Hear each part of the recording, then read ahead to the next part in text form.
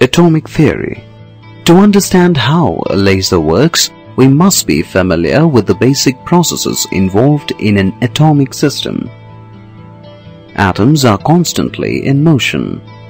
They continuously vibrate, move and rotate. Atoms can be in different states of excitation. In other words, they can be in different energy levels. Generally, the atoms of a substance are in their ground state. By absorbing energy, an electron in an atom moves to a higher energy level or an excited level. The level of excitation depends on the amount of energy that is supplied to the atom in the form of heat, light or electricity. An atom consists of a nucleus containing the protons and neutrons and electrons revolving around the nucleus.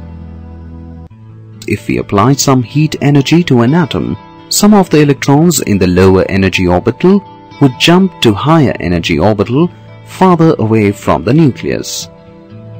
This process by which an atom moves from a lower energy level to a higher energy level by absorbing energy is known as absorption.